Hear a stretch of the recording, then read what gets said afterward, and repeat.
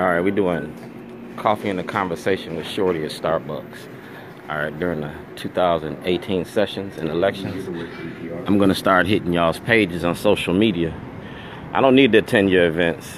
I'm gonna ask my questions. I'm gonna make my statements, and I'm gonna say what I gotta say via social media: YouTube, Facebook, and Twitter. All right, and we're gonna start with the issue of racism in the courts. Y'all talking about jobs and justice. Well, I'm on the justice part.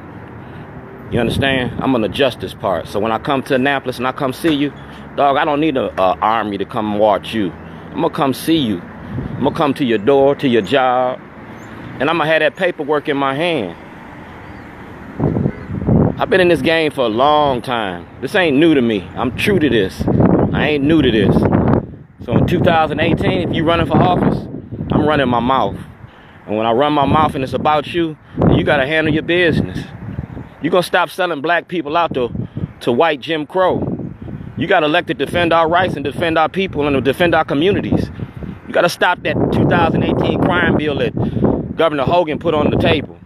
You gotta stop Bobby Zirkin. You understand? You gotta stop that white supremacy because if you don't stop that shit, I am. I'm building toilets. And y'all know I like shitting on people. And I'm gonna shit on you. I'm building a toilet because we got jobs and justice on the 27th of March. Between now and the 27th of March, I'm going to attend as many public events as I can. I'm going to take your card and I'm going to put your card on the toilet. And I'm going to hand you some paperwork. When I hand you that paperwork, do your job or lose your job because I'm coming for it.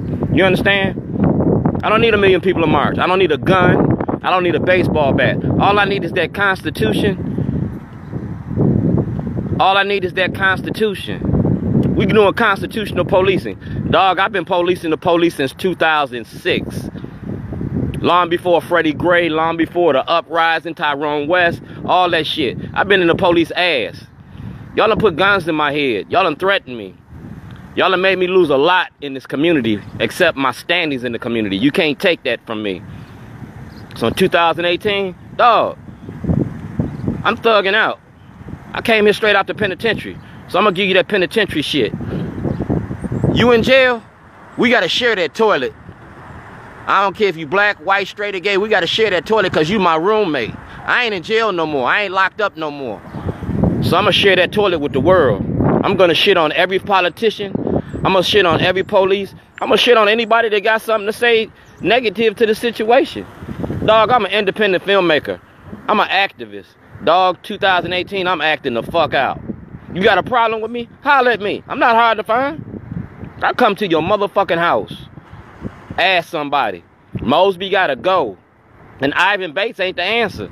Y'all not gonna switch up black faces and put put black people to carry out black bullshit. You understand? If you black and you about the community, then you need to hold true to that shit. Stop selling us out. I done been in Annapolis long before it was popular. I'm an unpaid lobbyist. I don't get paid to do this shit. I do it because it need to be done. So when I come to Annapolis and I hand you that paperwork, act on that paperwork. Matter of fact, go to Bobby Zirkin's office. I want Shellenberger disbarred. I want access to the grand jury because that white man lied to the public. He knowingly lied to the public. He created havoc in Towson, Maryland, and he used his office to do it. So the same way that you going after Nathaniel Oaks, the same way that you went after Sheila Dixon, I want I want Shellenberger's job. Because if Shellenberger get this bar, he gonna snitch on the whole white gorilla family. And my paperwork in the Department of Justice office, in the event that something happen to me, if I stumble and fall and can't get up, my shit still gonna make it to where it got to go. I'm going to the Department of Justice in April. Me and my producer, Rob Fix. We're gonna take all the film that we've been doing for the last 11 years and we're gonna turn it over to the Department of Justice. So all those emails from DD Shortman at AOL.com. Get them. Siebert, Moses, Norris, Bealefeld, Batts, Davis, all them events that I came to and that we had these conversations, get your shit together, bro. I'm not a defendant. I'm the plaintiff.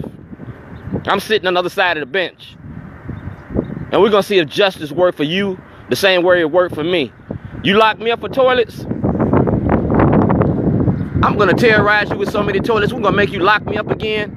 You either gonna give me the grand jury, you're gonna give me a, a court date. And when you lock me up, that whatever's on that toilet, the jury gotta see it. So you in a fucked up position. It's damned if you do, damned if you don't. But believe you me, I'm on my shit. This Sunday morning. Dog, what you gonna do Monday, Tuesday, Wednesday, Thursday, Friday, and Saturday? I'm seven days a week, 365. I'm an activist every day, all day. I divorced my wife. I'm married to the streets. Streets to the seats, baby. See you.